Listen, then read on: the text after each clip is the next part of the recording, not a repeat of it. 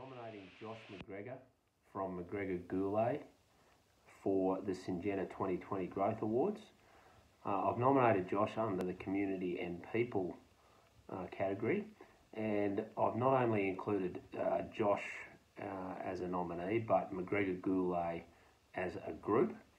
Um, McGregor Gourlay has been servicing um, northern New South Wales uh, in agricultural inputs for the last 100 years.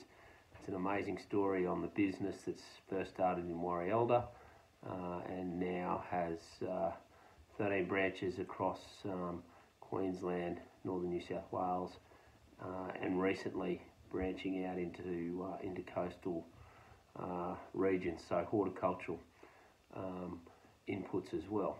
It's an amazing story. Um, first started by Josh's grandfather uh, in Warialda, and the tradition continues.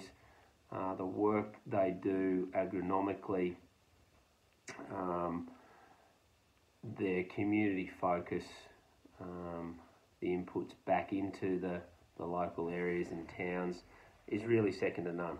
It's a great story. Um, they employ over 100 staff. It's, um, it truly is a remarkable um, continued business that serviced throughout um, many years and, and um, many different uh, seasonal uh, conditions.